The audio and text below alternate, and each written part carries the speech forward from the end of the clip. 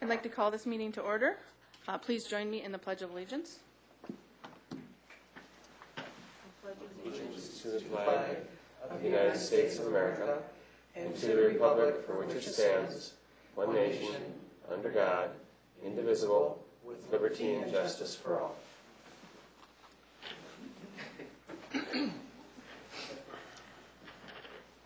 Uh, Absent this evening um, is uh, Chad Rittenhour and Lee Schimick. Um, And Todd uh, Sorensen will be joining us um, in a few minutes. He'll be a little bit late. Um, Approval of agenda. Um, I'd like to make one um, change to the new business. Um, I'd like to move uh, C to G, um, and basically just move everything up after C uh, by one. Uh, Can I get a motion with the amended agenda? I'll make that motion. Uh, Rich, second? I'll second it. Second, Mike. All those in favor say aye. Aye. That passes 4-0. Uh, Consent agenda. Uh, The conse- the consent agenda items are considered to be routine in nature and will be enacted by one motion. There will be no separate discussion of these items unless a board member or citizen so requests, um, in which event the item will be removed. All right, uh, the check wire transfer, the bank reconciliation, the approval of the school board minutes for the regular school board meeting on October 13th, the study session on October 27th, uh, resignations, terminations, and non-renewals as listed. Uh, Do I have a motion for the consent agenda? So moved. Dan, second? I'll second the motion. Second by Rich. All those in favor say aye. Aye.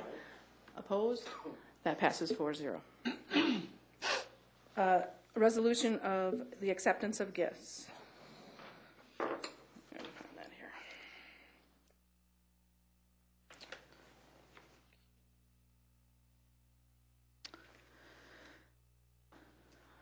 Uh, Whereas the following have generously offered to donate to the Prior Lake Savage Area Schools, uh, $50 from Mark and Jessica Fontana for Hidden Oaks. Um, That is it for this evening. Um, Do I have a motion to approve? I'm sorry, is this roll call? Roll call, okay. Um, Do I have a motion to approve the uh, resolution for, I'll, I'll make the motion. thank you, Mike. Second? I'll second the motion. Rich? This is a roll call. Rich? Aye. Aye. Dan? Aye. Mike? Aye. That passes 4-0. Uh, There is no Laker Pride this evening. Um, Moving on to the open forum, it's a 15-minute time period set aside to receive citizen in- input through the open forum segment. Um, Does anyone have anything that they'd like to address the board on this evening that's not listed on the agenda? Seeing none, um, we go on to personnel items, and Matt. All right. Good evening, members of the board, Dr. Gruber. Um, First off, I would like to recommend the following candidates for employment and am seeking board approval. Do I have a motion um, for the candidates for employment? So moved. Dan, second. I'll second the motion. Rich? All those in favor say aye. Aye. Opposed? That passes 4-0. And next, I present the following leaves of absence. Do I have a motion for the leaves of absence? So moved. Dan, second. I'll second the motion. Rich? All those in favor say aye. Aye. Opposed? That passes 4-0. And next, I have uh, an additional staffing request. Both of these requests would take effect uh, in the current school year. And the first of which is for an additional FTE at Bridges ALC. Um, Due to student enrollment, which has gotten up to 94 students, they're in need of, uh, of more instructional time. And just a note too, this is a similar student count to where we ended last year, and this would bring us back up to the FTE that we had last year. And then the second edition being requested is for a new position, Community Education Services, that would, uh, to some degree, supplant an existing position. and that's for a facilities coordinator. As offerings in community ed have expanded and our facilities have expanded as well, there's a need for uh, more management in that area and to ensure that we have somebody on call beyond a a traditional eight-hour workday. And uh, that's why we're bringing that recommendation forward. You can see that it's a little uh, lower cost than you would normally associate with a full-time position. That's because there are savings to be gleaned by not replacing uh, part of the previous position. And with that, I am seeking board approval. Uh, Is there any questions on that right now? Okay. Uh, Do I have a motion to approve the additional staffing requests? So moved? Uh, Rich, second, Second? by Dan. All those in favor say aye. Aye. Opposed? That passes 4-0. And then lastly, on behalf of both the Educational Support Staff Negotiations Committee and also the uh, License Negotiation Committee, I uh, have the following recommendations for um, terms and, con- uh, agreement for terms and conditions of employment, and am seeking board approval. Uh, Do I have a motion to approve uh, the agreements uh, for 2014, 2016 as listed? So moved. Dan, second. By Mike. All those in favor, say aye. Aye. Opposed? That passes 4-0. Um, Okay, on to old business. Um, There is none. And so now we are on to new business. Uh, The 2013-14 final audit report. Julie and Dennis, I believe. Good evening, Board. Dr. Gruber. Tonight, we will have our audit report by Clifton Larson Allen. Dennis Hoogeveen, um, a principal for Clifton Larson Allen, is here to present um, the findings from our audit. Thank you, Julie. Thank you, everyone, for inviting me to be here tonight. Um, We met with the full board and um, subset of the board a couple of weeks ago, as I recall. It's- Maybe it was longer than that ago, but um, we spent over an hour, about an hour and 15 minutes, as I recall, between the two meetings to go over things in detail. Um, And so tonight, we're just going to do the high, high-level overview of that for, for public information, using just an extraction of that data out of those some 160 or so pages of um, fascinating government, government school finance reports. But um, to the extent you have questions as we go through this, uh, please don't hesitate to let me know. And um, otherwise, we'll just kind of kick off things here and um, kind of go this for this fairly quickly. Like I said, we have reviewed it in a lot of detail at the board level already. So um, the thing that you're hiring an auditing firm to do is to give an opinion. And here in uh, Prior Lake Public Schools, you are using uh, putting together a CAFR. So a CAFR is intended to convey to the public that you're holding yourself to a much higher you know, reporting standard in terms of the amount of detail and the amount of information that's in your financial statement. So CAFR is a comprehensive annual financial report, and um, it is a useful tool for bond ratings and things like that when you do debt issuances and things like that, that um, there's a lot of great historical information there. So we encourage you know, the public that might be interested in that to download that off of your website. But the thing that you're hiring an auditing firm to do is to give an opinion on the accuracy and the uh, fairness of those financial statements. So we have issued a um, clean or an unmodified audit report, so it's as good of an audit report as we're able to give any Minnesota school district. And then because we're following government auditing standards, we're required to give an opinion on called the Yellow Book opinion. Um, that's um, where we would note if there were issues related to laws, regula- regulations, contracts, and grants, but we had nothing to report in terms of that particular aspect of that report. And then we're also issuing an opinion on your internal controls as part of that Yellow Book opinion. And um, as in past years, we did issue one material weakness related to the drafting of the financial statements, and then one control deficiency, which was defined as a significant deficiency, which was less than a material weakness related to a different matter related to some approval of food service invoices. Um, unless you want to go back into the detail of those, um, I feel like I'm just going to mention what the report was, and then to the extent, um, you know, we've we've covered them in detail as far as what the outcomes of those were and what the corrective action plans were as a, as a full board. So. Um, I think all of those are available to people if they may have an interest in what those underlying details were. And then because you expended more than $500,000 of federal funding in 2014, we had to do a single audit. Um, for this year, we uh, tested the special education cluster and the child nutrition cluster. As a result of all that testing, which is very significant in relationship to the amount of funding that, that the school gets, um, it's disproportionate amount of audit effort that's required for, in relationship to the funding. But we did find one issue with an IEP meeting that hadn't been, hadn't occurred within the required um, statutory time period. So um, we also put together a legal compliance opinion based on a number of um, statutory guidances that are put together by the Office of the State Auditor. We had two minor compliance issues that were noted with respect to the legal compliance opinion. And then because you uh, choose to not have your student activity accounts under board control, that's required by department rules, Minnesota Department of Education rules, to have a separate standalone audit. So your extracurricular student activity report, um, we gave it a, the, the normal opinion. Um, There were no compliance issues for us to report as part of your student activity audit. And as I said, all of those are available, I believe, on the district's website for download if anyone ha- would have an interest in the particular details of those. So then in terms of financial results, of course, the main thing that the school board is often interested in is the, um, the general fund of the school district, because programmatically, it's the, uh, the fund where most of the decisions that a school board makes are occurring. So again, I like this particular summary of the, of the audit. If you told me to explain the audit in one page, it would look something like this, because it tells us where you started the year, what your budget to actual outcomes were in revenues and expenditures, and then where you ended the year. So we always tend to draw your attention back up to that unassigned level of the fund balance, because everything else has a string attached to it typically, or a purpose attached to it. So in terms of your general fund, you started the year with $4.6 million of general fund unassigned fund balance. That was 7% of expenditures on that top line. And you ended the year a very healthy 7.7% at 5 point, just under 5.5 million there, you can see.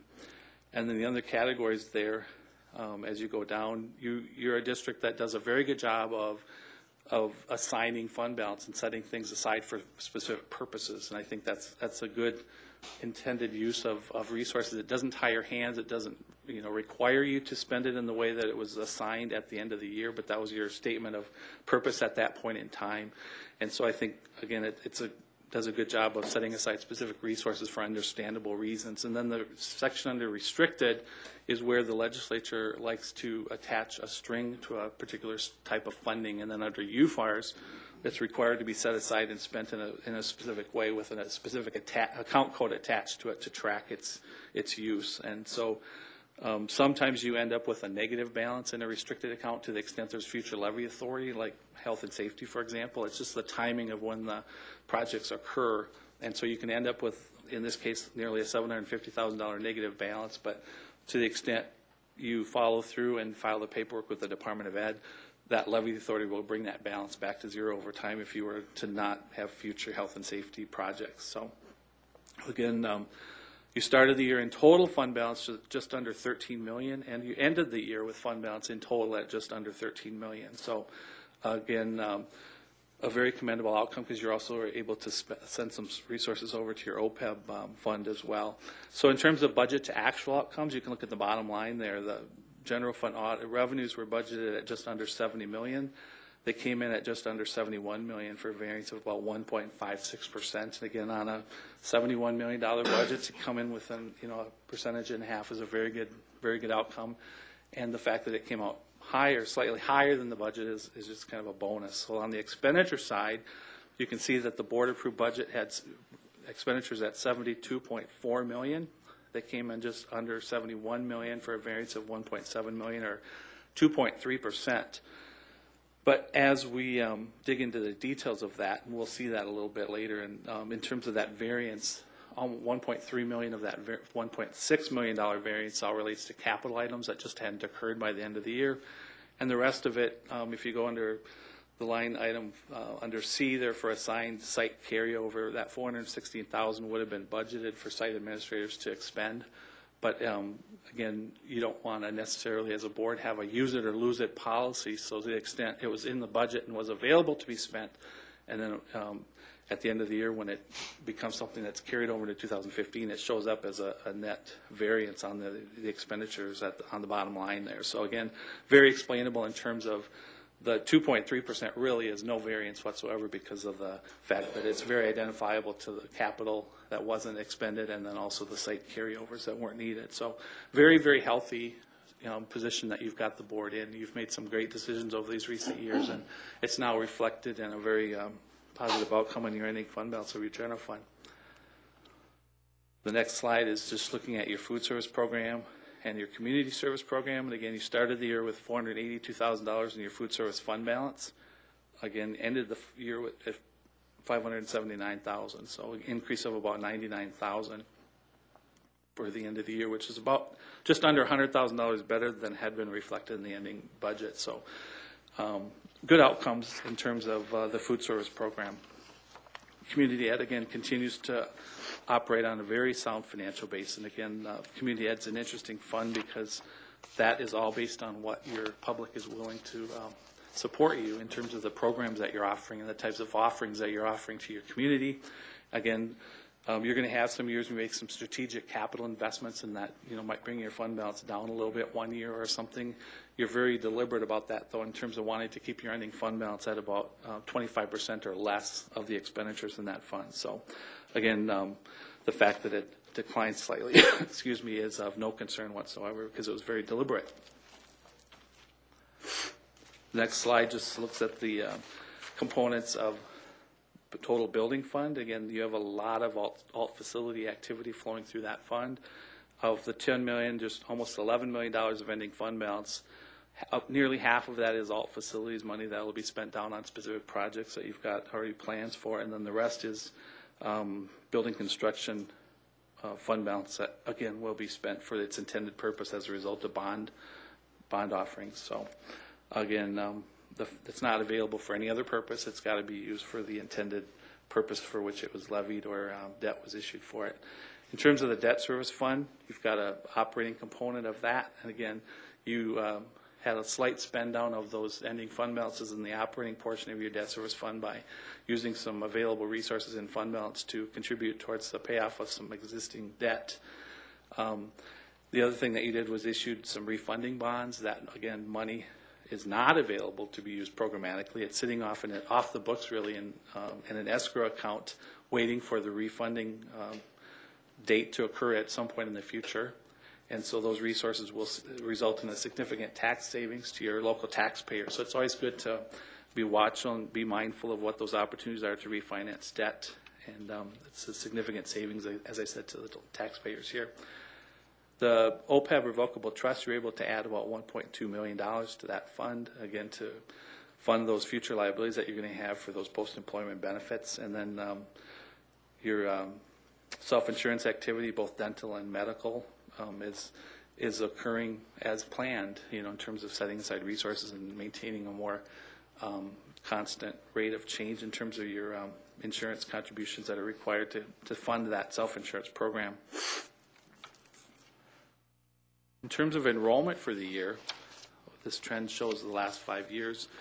Um, The in- most interesting thing that I find in this thing is the success that the district has had in terms of attracting open enrollment students into the district. For the first time in 2014, you had open enrollment students out, residents opting out of, at 799.29, but you had 814.24 res, non-residents opting into the district. So um, that generated some great discussion um, at the board level as far as what types of things was manifesting itself in those kind of outcomes. So it's very, very positive in terms of the good job that's happening here to attract students to, to Prior Lake schools.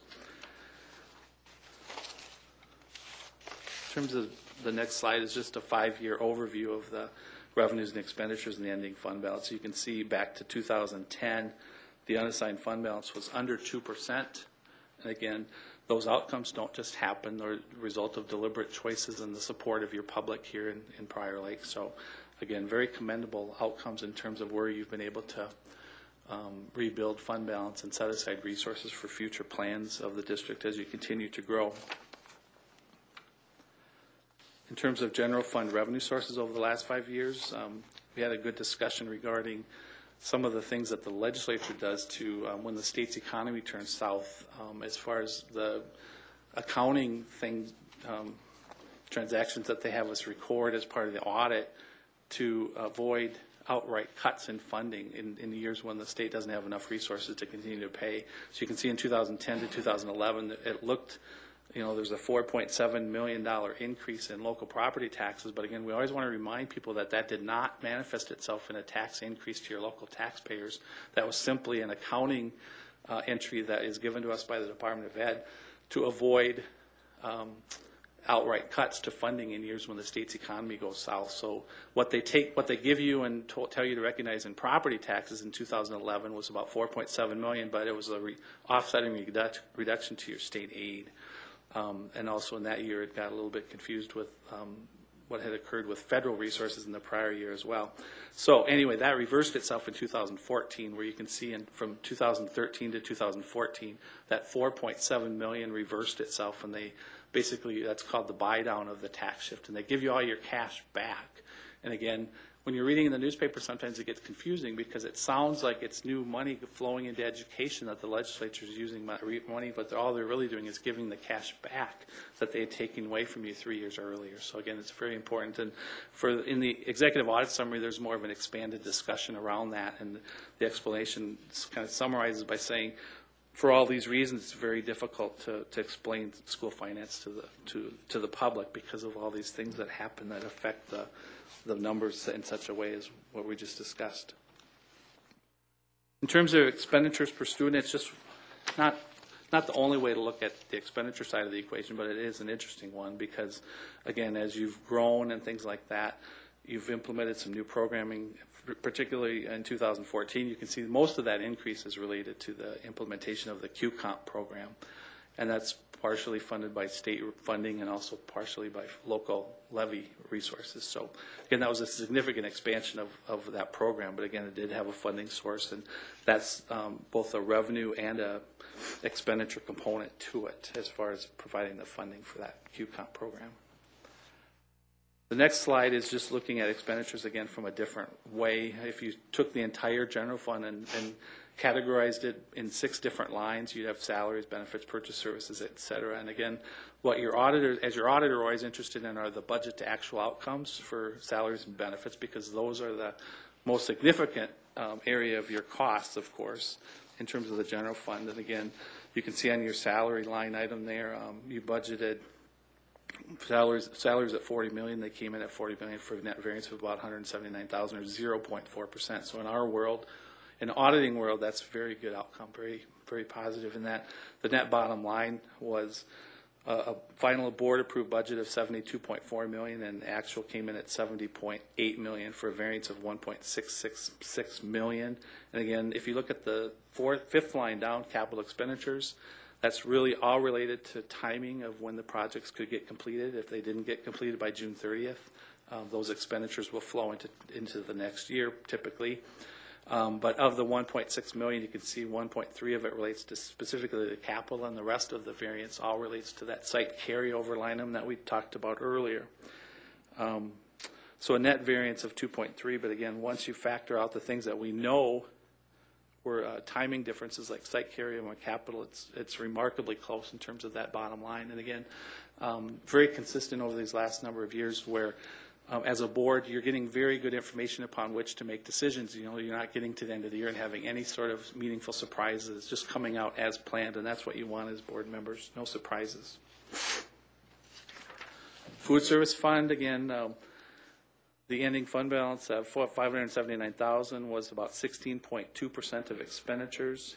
Um, Again, many num, many districts struggled in their food service program in 2014 because of implementing the Healthy Hunger Free Kids Act and things like that, and how it manifested itself in terms of menus and things like that. So any district that was able to increase the bottom line um, was actually quite commendable because it was a very challenging year. Um, We do give you a subtotal of total meals served here, and again, um, we've had school, met suburban school districts that had decreases in total meals served of up to five percent, just because they really struggled with um, meeting those new requirements and, and, and finding a way to get kids to eat the, the revised um, meal program. In terms of the community service fund, continues to be very strong financially. You've done a great job over these last five years of, of turning that fund around and building up the fund balance. Um, Again, we've already talked about the fact that it's a choice that your public is making. It- You know, they're not required to participate in community ed programming. So they- to the extent you are running a program with a healthy fund balance that's providing resources available for capital needs of that program to take pressure off your general fund, just as the food service program is another way of having uh, funds available for capital needs of that program that takes pressure off your general fund. And again, very positive outcome. Tells a great story of that you're doing good things that pe- people are wanting to participate in here. Those are the things that I had noted, I guess, again, as we spent over an hour going over the, uh, the, the three documents that we're issuing tonight. But um, I'd be glad to answer any questions that you might have for me. We sincerely appreciate the opportunity to work with the district. Um, We've developed a great working relationship with the staff and sincerely appreciate all the hard work that Michelle and uh, the finance team and, of course, Julie put into the audit process. They do a really outstanding job of working with our, our team of auditors, and they're very responsive and very conscientious about responding to our requests for information, very, um, very timely and very organized, and just do a really commendable job of, of getting ready for that audit process. So we, we appreciate all their hard work very much. Are there any questions for me? No? Okay. Answered at the uh, study sessions. We need to approve this, correct? Okay. Um, Do I have a motion to approve the final audit for 2013-14? So moved. Dan, second? I'll second the motion. Rich? All those in favor, say aye. Aye. Aye. Opposed? That passes 4-0. Thank you, Thanks for Dennis. having me. Thank you. Okay, Jim is up, I think, next, with approval to advertise for bid. Good evening, Madam Chair, School Board, Dr. Gruber. I have before you tonight a request to advertise for bids for replacement of fire smoke dampers at the Prior Lake High School. This is an approved health and safety project. Um, We'll be having a mandatory walkthrough, so there should be no surprises to contractors. Um, And this work would be executed over the school year before um, June 30th. Would be completed before then. Okay. Do you have a, anything Uh, appropriate? Just the advertisement you should have in your packet. Okay, I'm just trying to find it in my packet, that's all. Page 75. Oh, there we go. Okay. All right. Uh, Any questions, anyone? No? Okay. Um, Do I have a motion to approve uh, the bids for the high school fire and smoke damper replacement project? So moved? Rich, second? Second? Dan? All those in favor, say aye. Aye. Aye. Opposed? That passes 4-0. Thank you. Okay, on to D, the student council report. Tucker. All right, so um, look, we just had a lot happen since the last time I was here, but um, the main thing is we had our homecoming week, which um, our theme was "I'm so fancy" this year, so we kind of based all of our dress-up days and everything off of that. And um, we had a very successful dance, very high attendance, um, mostly from the underclassmen. We noticed since the the um, the um, the 700 student freshman class has actually affected us a lot. Um, we had our first outdoor pep fest ever, and it worked out pretty well because of the um, school. er, We have the um, scoreboard out there with the big screen on it, so we could show our video and everything there. And um, overall, everything went very smoothly, and it was very good. So, um, and then right after that, we hosted the uh, annual fall convention for Capital Division at our high school, and um, that's where 13 schools from around the state came, and we all just shared IG, shared ideas and um, discussed ways that we could improve our councils and our schools in general. And um, something else that has been going on since we've been doing uh, concessions at every football game that we've had at home, and that is where we make a majority of our money for the year. So that and homecoming have both gave us a lot of money. So um, that's yeah. We, so we can kind of coast for a little while off of that. But um, we also have added seven new members to our council. Two of them are foreign exchange students, which is the first time we've done in a few years, but it's in our constitution. And we added five honorary members as of last Wednesday. And um, we right now we are working on a fundraiser um, for No Shave November, where we have a few of our teachers are um, pledged not to shave if they if their students raise a certain amount of money, and so we're just doing that by week. And it, the first week it's gone very well so far, and so that's kind of where we're at right now. And coming up. Um, this Thursday, we are having our annual coffee house meeting where we go and discuss where we kind of what I'm discussing right now, like what we've done so far and where we're going to go from here. And so a lot of our upcoming plans will be figured out then. And um, one thing that we are planning on doing is this December, we are planning on having another dance or some sort of activity that would replace um, the Sadie Hawkins dance, which hasn't been as successful in the past years. So we're still, this Thursday we'll probably figure out what it will be, but it's, something's going to happen. So, and that's, yeah, that's where we are right now. So. All right. Uh, Next up, the organizational charge, Dr. Gruber. Thank you, Tucker. Um, Each year, we look at our organizational charts within our, our large organization. They're amended uh, to fit any kind of nuances or changes that have happened within our administration um, throughout our district. So the revised uh, templates are there, uh, beginning on page 85. And no board action is requested. Just- Questions? Anyone have any questions? Are there any differences, major differences you could point out from this year as compared to last year? I didn't, I know the I Q don't comp. know of any specifically Well, from the Q last year. comp. Right. We had, and Jeff, you want to speak to that? Yeah, the Q comp would be one change, the tech integration specialist would be another change. Um, But largely, I think, there were some title changes, I think, as well, but for the most part, it relatively similar to previous years.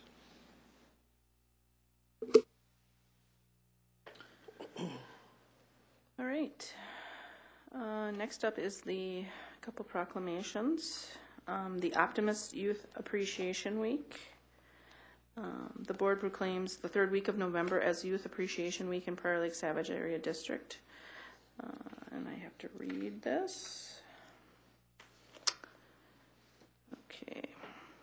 Whereas the vast majority of youth are concerned, knowledgeable, and contributing partners within the community, and whereas the accomplishments and achievements of these young citizens deserve the recognition and praise of the community, and whereas Optimist International has since 1954 developed and promoted a program entitled Youth Appreciation Week, and whereas the citizens of Prior Lake Savage Area School District have indicated a desire to join the Optimists in expressing appreciation and approval of the contributions of the youth of the District 719 Board of Education, does hereby proclaim the third week of November as Youth Appreciation Week in the district.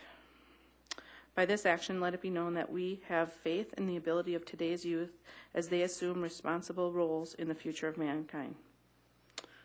Now therefore, I, Stacy Ruel, Vice Chair of the Prior Lake Savage Area Schools of Education, hereby proclaim the third week of November 2014 as Youth Appreciation Week in Prior Lake Savage Area District.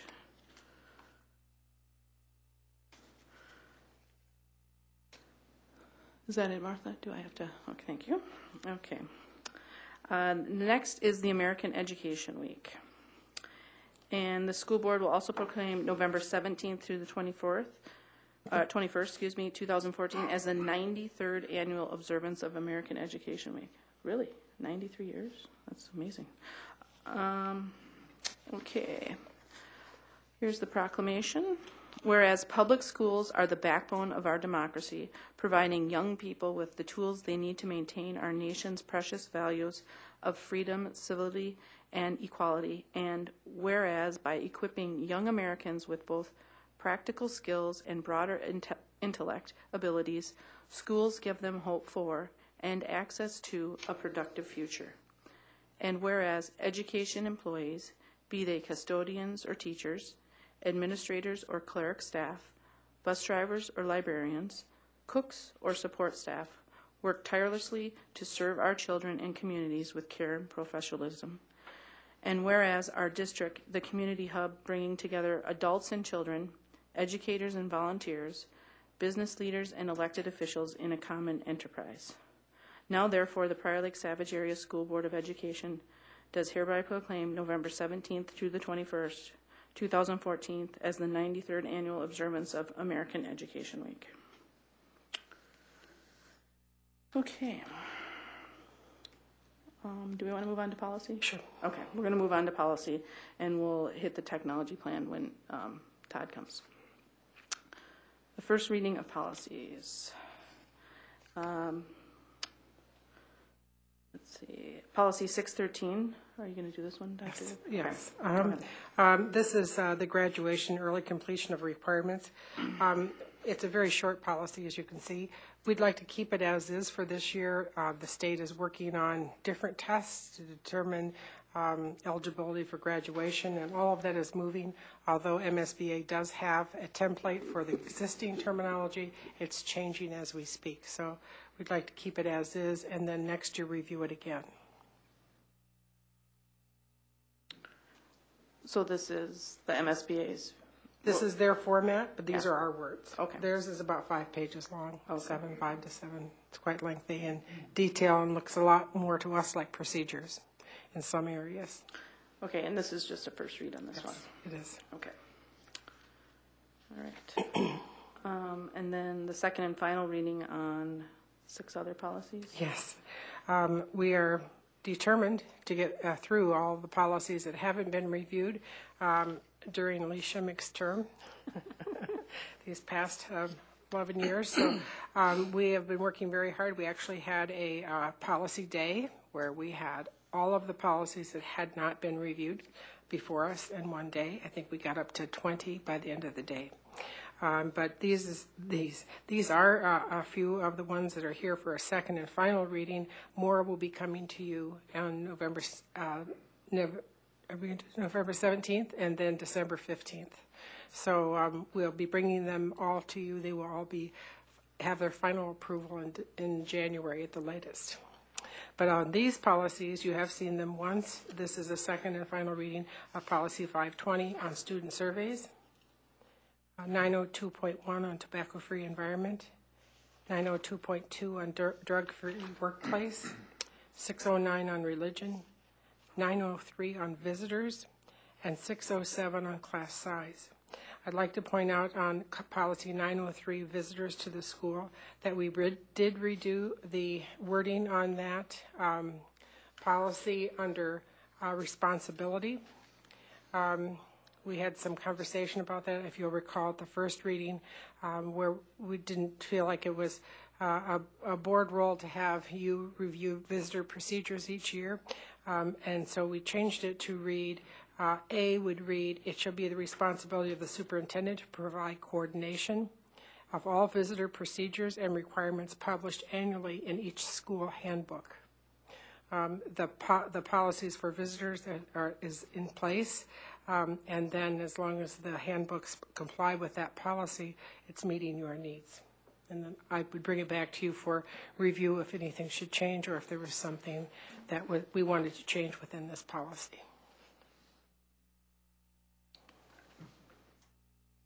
And then, One at a time, or? well, and then there was one other note on the verbal or electronic communication. Yes. We just added that, yeah. Um, How do you guys want to vote on this, individually or Do you have questions? questions? We can do them.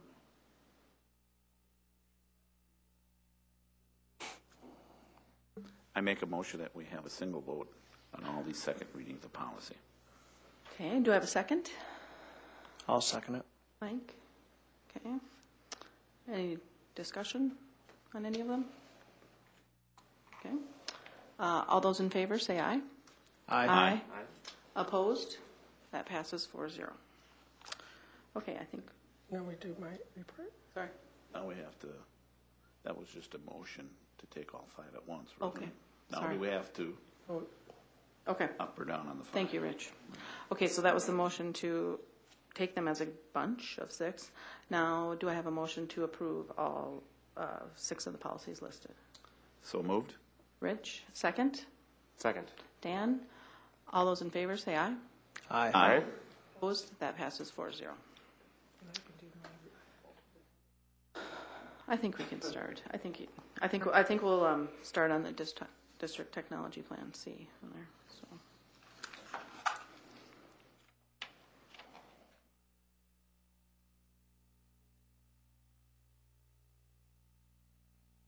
All right. Good evening, Chair, members of the board, Dr. Gruber, Mr. Milazzo, and shortly, Mr. Sukup will be joining us uh, as part of the presentation this evening. This is a presentation that uh, uh, you looked at and and reviewed two weeks ago at the last board work session. We did go through two components. One was the desktop refresh, as well as uh, iPads moving forward. So there, there are some changes, particularly to the iPad recommendation.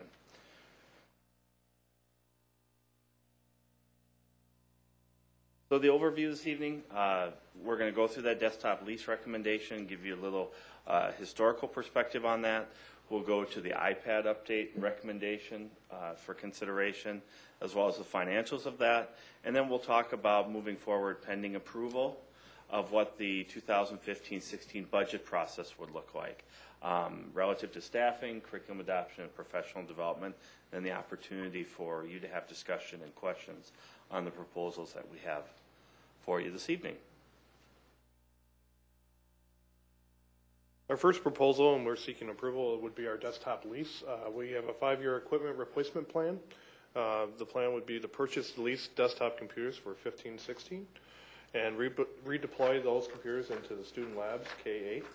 Our current lease matures on 7/18/2015 for 950 desktops. We currently pay $200,000 per year to have, uh, for this lease. We've made the last payment on 7/18/2014. And uh, if we pay an incremental amount of $182,134, uh, we can own this equipment. Um, That comes out to be a total cost uh, per unit of $824, which is what we buy computers now for on the, uh, on the market. So if we use uh, joint powers or some of the other purchasing uh, um, avenues that are available to us, that is the type of price we pay for a desktop computer now. Um, So what we would also propose is that we renew our three-year lease for $650, uh, 650 staff computers for next year as well. Uh, In reference to our tech uh, projects that have been board approved, the last year, uh, the one-to-one iPad deployment uh, and uh, project was approved. Uh, 2014 and 15, which has now been completed, we have deployed 700 iPad minis for eighth grade students and 400 iPads through uh, E12. That comes out to be about 13 carts. Under this proposal that has been board approved, 15, 16, we were going to deploy another 700 iPad minis for eighth grade students and then continue with the cart theme and deploy another 13 carts E12. And for 16, 17, same, uh, 700 iPad minis for eighth grade and 400 iPads uh, in carts. Um, So at this point, we have uh, distributed uh, staff iPads to um, all staff members uh, last year during the 13-14 school year. Um, In, in conjunction with um, the eighth grade students receiving uh, their iPads this year, uh, they were required to complete a student ninja, an iPad Ninja course, um, which kind of gave an overview of uh, what we expected kids to be able to know and show some level of competency when it comes to dealing with the iPad. Do they understand what a digital footprint is? Do they understand the implications of some of the things that they're putting out there? What does that look like? Um, how do they use the iPad effectively? So that happens at seventh grade, so that'll happen again this February with our seventh graders. They'll have an opportunity to pass those six tests as well. Um, we also created a, an iPad handbook um, for parents um, that was distributed and is currently resides on the tech integration page um, on the Prior Lake Savage website. Um, and then, of course, we had our iPad rollout night in August, which was very well attended. We had about 97% of parents and students attend that night. Um, out of the 700 um, potential students, we had 670 um, students, and we only had about 25 students not show up, which is which is really uh, which is really encouraging. So we had parents come in, get information. Students went through the process and walked out with their iPad about two weeks before school started. We envisioned something similar to that this year probably run a little bit smoother now that we've had a year under our belt and we kind of can anticipate what are some of the issues and some of the questions and make more things happen now that we have a better understanding as well of what the kids should have on the first day of school. Um, one of the big things that we've been wor- working on is our SWAT team, um, which stands for Students Working to Advance Technology. Um, we take this very seriously. We have um, 30 eighth grade students currently that are part of our SWAT team. Uh, during their prime times at the middle school, they're available to answer questions and, and be our tech support. They're kind of our first line of defense of um, issues that come up throughout the day. Um, kids can bring it in there during their prime times, uh, answer questions. If they can't answer that question, then either myself or a media specialist or somebody that is a little bit more equipped to handle that will come in and, and solve those issues. But it's been really encouraging. The kids have taken this responsibility um, very seriously and have done a great job. Um, they have different color cases, so the teachers have also been calling on them in class because they know that if a student has a blue case, that's one of their SWAT kids, so they make sure that they're answering questions in class, not just during prime times. The hope is that elementary is looking at developing that as well, so we have those kids coming into the middle school down the road, and then the high school would look at that next year as we have the ninth graders next year coming in. What does that look like there? Because the prime time is not a piece that we have at the high school, so how does that look different, and what are the things that we need to get in place uh, for that to be successful at the high school as well? Um, currently, um, we've deployed about 670, or a little. The, those numbers have fluctuated a little bit more. I think we've only lost two students and gained about five or six during this year. Um, we also deployed um, additional carts at the high school and the middle schools this year, and then um, one additional cart at each of the elementaries, which are currently the elementary runs a little bit differently. For the majority of the schools, they had they took the original 60 that we gave them last year and deployed that to grade level. So every classroom has some iPads. However, now with the carts, now every building is looking at a cart model as well, so they can also bring 30 in uh, to use in the classroom in addition to the two or three or four iPads that they already have in their classrooms. Um, and finally, the biggest piece, the biggest question is always, well, what's our infrastructure? What is the wireless access points? Can, how can we have 700 devices running successfully? So that's all been upgraded as well, and that will continue to be looked at um, through Meraki, through Cisco Meraki, to see what do we really need to have in place for um, the kids to be successful and get on um, the iPad uh, throughout the day.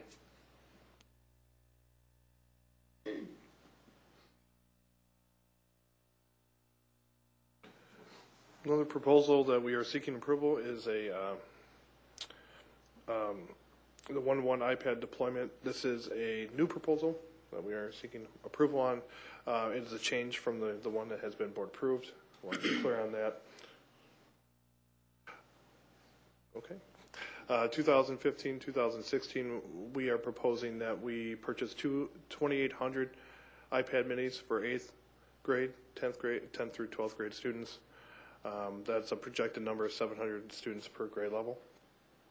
We would take the existing high school carts and redeploy them to elementary buildings. We would take the existing middle school carts and redeploy them to sixth and seventh grade. Um, The goal would be by 15, 16, that there would be eight through 12, a one-to-one ratio, and K through seven, a one-to-two ratio. Do you have something to add, Mr. No, I think that this is a different proposal than what we originally had uh, shared with you two weeks ago. Uh, We were looking at a two-phase rollout, but it uh, definitely more focused on getting to a one-to-one model at the secondary level. Um, You know, the, the projection of 700 students at a grade level, we currently do not have 700 students at all of our grade levels. Um, But recognizing too that we are a growing district, you know, that that, we would have the ability to accommodate those needs should our enrollment get that high.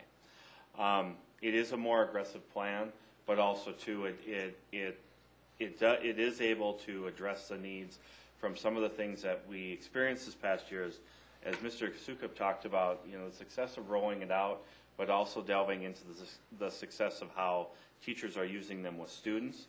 Um, when we're having curriculum review and talking about how we can bring curriculum to students, the previous board-approved proposal was rolling that out. We did have some challenges with that.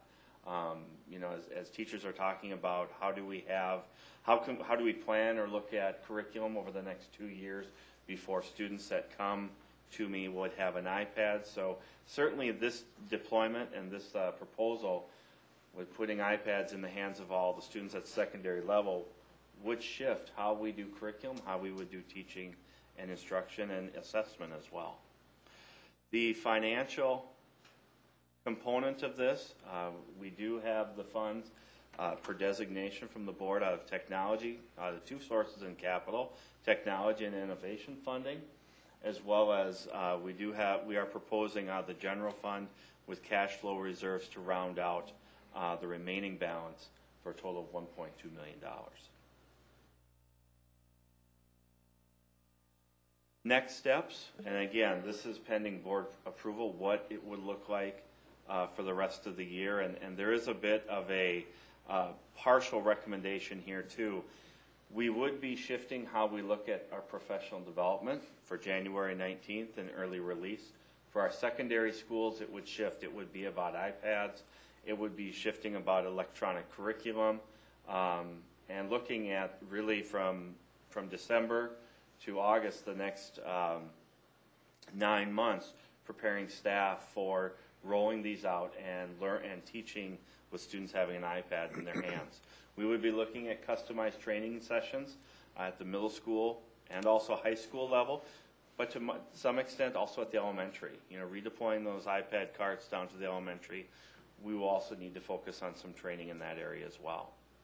Looking at the 15-16 budget process, uh, we would be coming forward as part of that process with a recommendation to uh, and develop a 21st century curriculum adoption model, a model that is not uh, dependent or focused on textbooks, but looking at online sources and looking at teacher created online sources.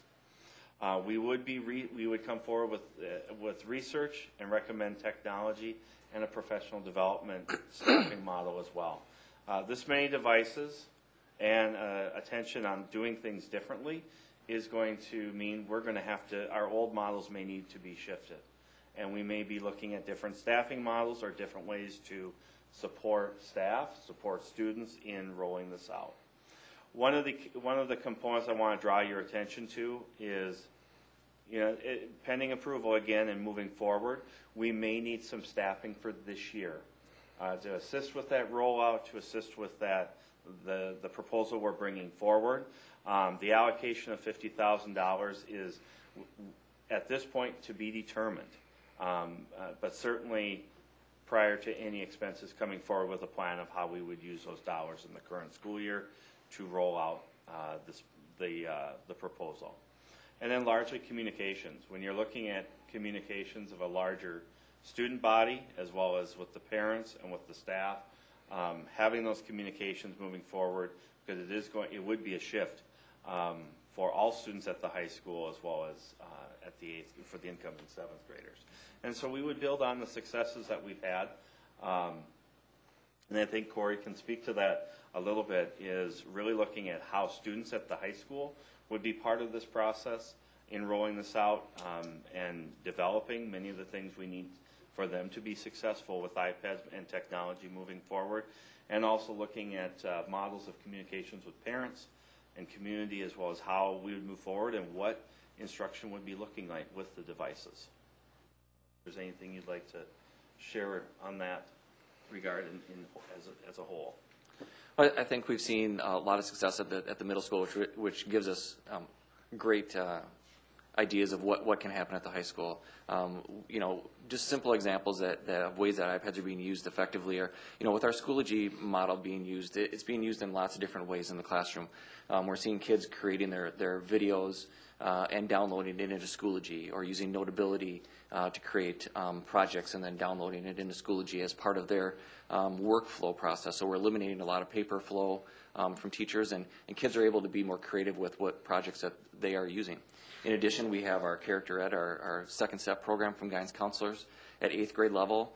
Um, they are specifically created. They specifically created a Schoology course where the kids, because they know that they have the iPads, and they're gearing their lessons directly for that. So the kids are looking at the lessons there, they're submitting their comments um, and all their um, assignments within Schoology, and it just makes that workflow so much easier. We don't have to worry about getting them to a computer lab and being um, not having enough computers for all the prime times uh, throughout the day. So we're seeing effective ways that teachers are really starting to make this all come together after one quarter of, of using them. They're getting a little bit more comfortable with that, what that looks like, and students are getting more comfortable with you know how what the teacher expectations are as well. So it really gives us a, a good idea of what it could look like and, and things that we'll be able to jump off with at the high, with the high school staff right away.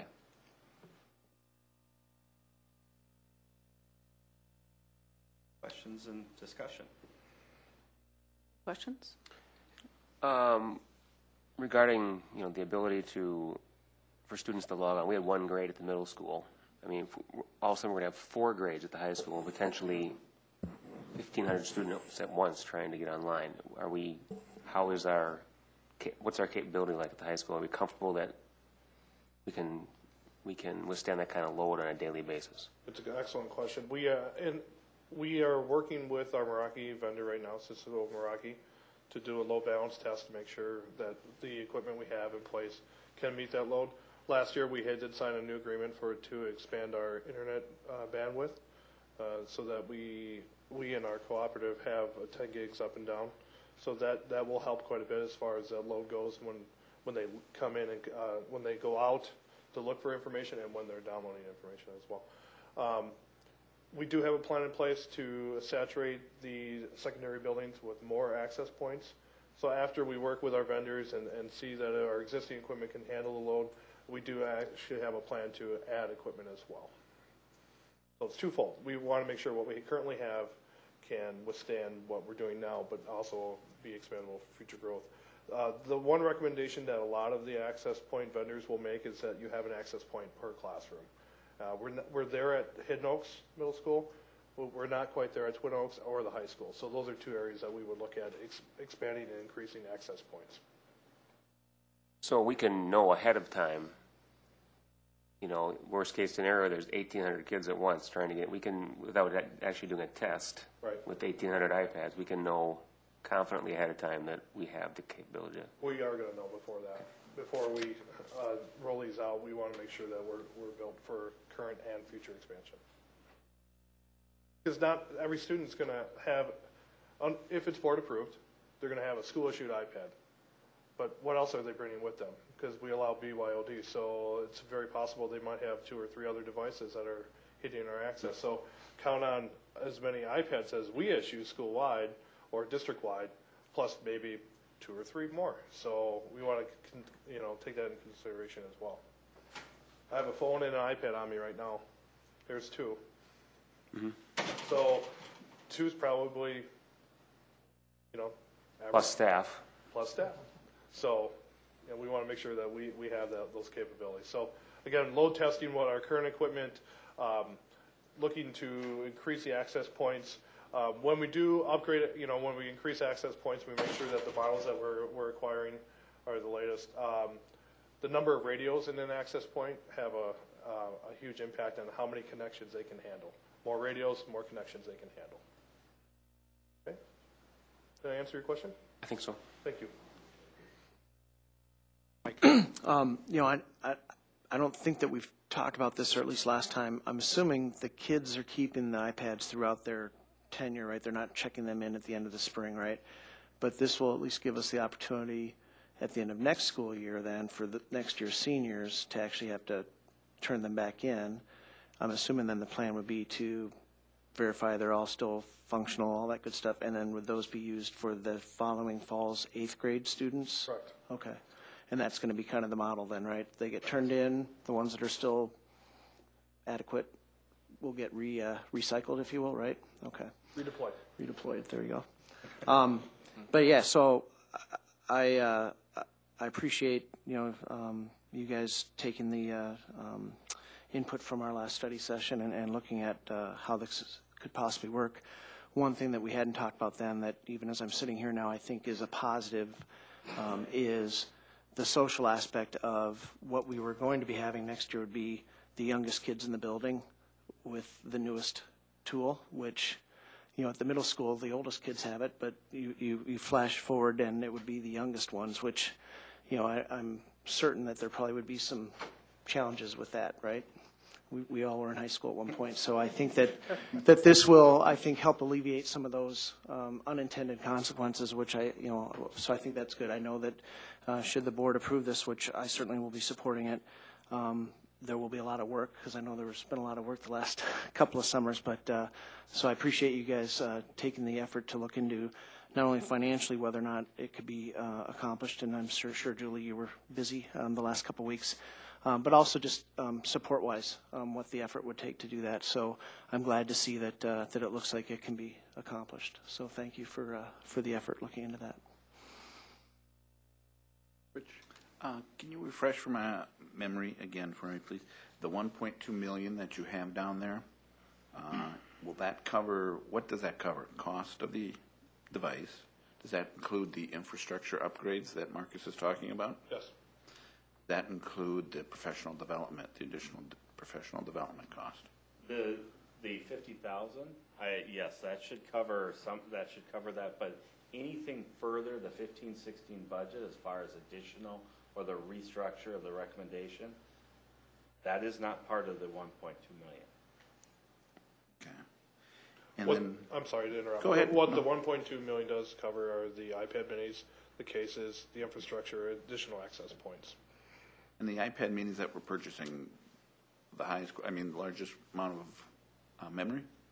Most amount, they're the baseline. Okay. They're the 16 gig model. Okay. And then we can go back to the desktop lease. Uh, What's, the- does this also cover, that 1.2, the renew the three-year lease for the staff computers? That's a separate account. Okay. And that's not, that's just a continuing cost? Correct. That's how it's currently set up, yes. But then the total cost for the computer labs, that's a new cost, a one-time cost for the purchase of. The those $182,000 is a one-time cost to buy out the lease computers, redeploy those to the, the K-8 labs. Okay. And then the lease continues i- if board approved. We, for 650 staff computers, which should be less than the 200,000 that we currently, because we've leased 950 computers. So um, my assumption is, and my expectation is that the lease cost will be less. Okay. And that, Julie, that 182,000 comes out of the exist, current year? It would come out of current year capital dollars. Okay. That does it for me. Thank you. Mike? Following on, um, I think, Rich, we were uh, on the board together when we talked about that 200, right? That the whole purpose of doing that was so that we didn't have kind of fall off the cliff every several years, right? And then have to figure out where were we going to get the money to cover replacing computers. So I think that now we've got that as sort of a baseline cost year over year over year, right? And, and so really, it truly is just the 182 that's incremental for this year. Yeah. And, and that may be something for the board to look at is if this is going to be a, you know, probably a regular every third year, maybe we should consider how we could kind of look at that then as we go forward too. But, you know, the, the 200 I think was a good thing for us to do several years ago because it kind of, I think, kept our costs known, right? Yes. And that's continued, has been in our budget and will continue to be in our budget as a baseline for our computers. Well, And that puts us on a refresh cycle of every three years for staff computers, which is excellent. And five years for student computers, which is great. Well, and it brings that new technology to the elementaries, which is direly needed right now. So, Yep, that's correct. Dan, do you have anything? Well, I'm, I'm still a little concerned long range about the funding for the iPads. Um, not out past 15, 16. That's that's my concern. I, the concept, even though it's a little more accelerated than I'm comfortable with, I understand, and and am, uh, maybe a little more reluctantly willing to support. But the long range funding is still. Uh, I'd- still see some kind of a concept or a plan or an idea of how we do this. Maybe it's similar to what we did with the desktops. I don't I don't know, but uh, I'd, I'd really like to see that. Um, I also um, am eagerly anticipating the capability to, restrict, you know, social media uh, plan for that, how we're going to deal with that. And then I'd, I'd like to see an acceleration of the, of the staff written curriculum. Um, kind of, kind of along the same lines we did with QComp. You took our, some of our best teachers, put them in charge of some things. Um, I'd like to see our top, some of our top teachers writing curriculum and, and putting us in a position where, where, where we're using our own stuff and not, and not having to purchase uh, down the road. That's, those are my, my concerns um, as, as far as this plan is, is laid out. So, Um, I, I fully support it. I'm excited to be able to bring it to fruition um, at, for the high school and the secondary kids. Um, you know, I think Dan brings up a valid point that, you know, future-wise, we have to look out and be concerned about the costs. But Um, I think we have a little time here. This will buy us some time to kind of, to figure that out. Um, So I'm looking forward to it happening. A couple to carry on Dan's point. Um, lost my train of thought here. Um, But the curriculum, what's the, what are you hearing from the teachers about their desire or their hunger to create their own curriculum? You know, initially, when they're looking at, it, they're finding a lot of positives because it's, you know, they, they, they understand the standards that, that need to be taught. They're also understanding their students, and usually it's things that they've designed in previous years, or they've worked together in previous curriculum writing experiences or through QComp to develop those experiences for their kids. So, in concept, it's very favorable. The thing is, it's time. It takes time to create it in a format that's like an iBook or uh, or an ebook that kids can use, and and that's the one thing that that that comes across. They're they're finding it's once we're using with students, students enjoy it. It's better fitting what we want the kids to learn, but it is taking time. Um, you know, and again, when you're thinking of creating things from scratch or having to redo things, it is going to take more time. You know, I think the time saving is going to be next year. You know, when it's already created and it just needs to be revised or tweaked. And so I think the initial, the initial, I guess, the curriculum writing or the development, there is going to have to be some attention to that. But I think ongoing, it's going to be more about revision, um, and the creation is going to be more uh, relative to new standards or relative to new experiences that we want kids to have. The follow-up one more time from Dan. I was very impressed by the report that you had about the traffic and the usage in the district. So, and I think if we can continue to make that tool available for staff and, and teachers, that'd be great. And then I look at this purchase as just, we're starting um, a whole new trend. We don't sit and argue about how much whiteboards cost or funding whiteboards continually, and this is just a tool. The iPads are just a tool, and it's common practice now for in the classroom, so. I am happy to report out that last time we looked at that report that, at the work session, we had a device that was a really high-end user. That was one of our servers, so I'm happy to report that that was not, I don't have to have a conversation with anyone. It's a machine that's supposed to be doing that, so wanted to report back and let you know that. So, the Report will be um, useful for the community to show our community that our kids aren't just on FaceTime and Snapchat. They're actually using it for it's a, yeah, a very useful tool, so. purposes.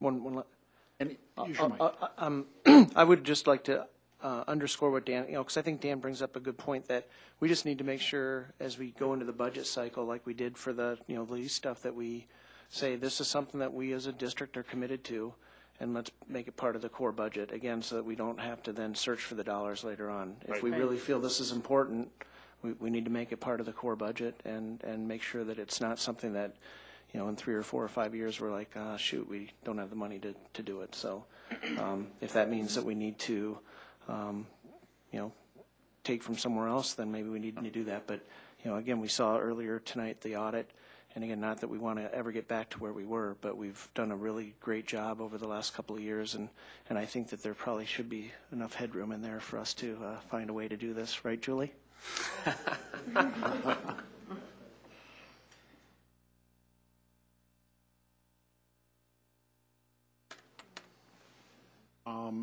I too support it and uh, stopped in and talked to Julie before the 100 gentlemen here uh, were in, I guess, today, so I hope you had some success. Um, I talked with Sue Ann, and we thought, you know, we can do this now. I think it's the right thing to do. And, and looking forward on Dan's point is what is going to be in the next three years? And that's a real question of, of were, uh, three years ago when I joined the board, did we expect this? Did we know about this? Probably not. But what's the newest technology at that three-year point? And I think Dan's right. We need to come up with a plan. I think we have the right team to do that. And I think we'll move forward along with Mike to, to echo the sentiments that there were a lot of expenditures that were cut. And uh, we're starting to bring back some of those now. So we appreciate that. So, Well, it's the, it's the new normal, sure. normal, so. Any further questions or comments? Seeing none, do I have a motion to accept the district plan and uh, iPad update proposal? I'll make the motion. I'll By second. Mike, second by Stacy. All those in favor? Aye. Opposed? That carries five zero. Thank you. Thank you. Okay. Well, uh, Administrative reports. Sue Ann. Yes. Um, Our election results are in. Congratulations to Todd and Stacy and Rich uh, for your reelection to the board, and we look forward to welcoming Melissa Enger and Ben Hansen to our board in January. So congratulations to each of you, and uh, we will be missing Lee Shimmick and Mike Murray, who did not seek reelection and have served our district well for many, many years. And thank you, Mike, for coming back and helping us fill that uh, partial term of Tom Anderson when he moved away. We'll be recognizing both Mike and Lee at a short reception on December 15th at 6 p.m., just before our board meeting that night. Um, Just a little, little reception just to say thank you, uh, so everyone is welcome to attend at that time. Um, Thank you to kids, uh, to our community education for providing and coordinating the kids voting this year. It was a very successful event and campaign. There were over 1,153 total votes this year from our students in Prior Lake Savage and in the townships. Votes are tabulated, and you can see the results on our website. Um, We have a new marketing video for La Ola del Lago, our Spanish immersion school. You can see it on YouTube at uh, Prior Lake Savage Area Schools, or you can link it from our website. It's our latest marketing video, and uh, it is really quite, quite good. I think you'll enjoy it if you haven't seen it already. Um, It was well received with over 600 views in just its first week on our YouTube channel. We hope this will give families who are getting ready to register their kindergarten students some insights about our district's newest program. And this week is our uh, Kindergarten Live, and we will have it both at the elementary schools as well as at La Ola del Lago. Um, So we'll be interested to see uh, how many parents come, come to see what's happening over at Edgewood School. Uh, We're very pleased with the marketing video. Um, Veterans that were at Prior Lake High School on Friday to help celebrate uh, Veterans Day, uh, and I had the opportunity to go over and visit with them, uh, and it was um, it was really quite moving to know that our veterans are willing to come in and talk to our high school students and how much it means to our veterans as much as it does to our students. And one of the comments that they made to me was that um, some of these students have never met a veteran in their lifetime at, at the age of 17 or 18. They're, they don't have a, a veteran in their family uh, or in their neighborhood or in their social sphere. So this was a really important opportunity that happens for juniors. The teachers were telling me that the seniors have also said, could we have them come back? We have, we have more questions for them. And uh, they have promised they would be willing, more than willing to do that. Um, it, uh, it was a, a really uh, a fun way to be able to recognize them on Friday uh, while they were having their lunch to hear their reactions to our students. So this was um, more than the 20th year that our veterans have been coming to Prior Lake High School. And uh, it's a point of pride for me that our veterans take time to do that and are recognized by our schools for the um, outstanding efforts and work that they've given to our country. So um, we should all feel proud uh, that that happens. On another note, our Blue Jeans Ball, our first annual Blue Jeans Ball, uh, benefiting our Laker Educational Foundation, was a big success. It was held at Green Acres Event Center in, in Eden Prairie. Um, the financials are still being tabulated, but already there's been a lot of positive feedback, and the foundation is, is already making plans for next year's fundraiser. So I think many of you sitting here tonight were there and, and enjoyed it and, uh, and saw that it was really benefiting our foundation, which is giving most of its money back to our schools and district, although some of the money goes to our community. Uh, a large majority of it seems to come right back to our teachers doing innovative things in, within their classrooms and in their buildings. So uh, we are very happy to participate in that and to see it be a positive success for our community. And of course, weather, weather, weather. Um, it has started again um, to uh, be perplexing. Um, so, just for your information, uh, we did not have school today, as you know, so it wasn't an issue for us, although our surrounding uh, communities were looking at the weather mostly north of the river. Uh, that's where the snow is ending up. Although we were, of course, alerted that it was going to be happening here, uh, we're getting more of the rain and ice here than, um, than we did the snow. But um, we will continue to do the same format that we have in the past. Uh, Jim Delwo and team will be out uh, driving the roads early in the mornings if there is a, um, even an indicator of one kind of um, school um, related either closing or late start, and we will make a decision and get on the phone into the TV stations by 6 a.m. Generally, our goal is by 5:15 we make a decision, and the voice uh, mail goes out um, and hits every electronic device you have, sometime between 5:30 and a quarter of 6 a.m. So that's in case there is a, a late start or a school closing. Last year, we had a record number of school closings, and no, I'm not planning on having that happen again. Um, but uh, I also uh, give my um, whole ability to make decisions to the weather gods because uh, I have no control over these kinds of conditions that we had last year. But we really have that chart that we post on our website about that 25 degree below zero. Um, that's that's kind of a marker for us, or 40 degrees uh, wind chill. When those two collide, we we have problems. Now we don't see that happening this week. We see some snow and ice and what have you, so I don't think that's imminent. But uh, we will be. Uh, we're actually right now putting together uh, a listserv for our parents, reminding them of the of those those two parameters that we use, and also the safety, safety, safety of our students and our buses and our bus drivers, uh, that we're not putting people in peril when we put our buses on the road. So our bus owners, together with Jim Dowell, um, do the, the drive around.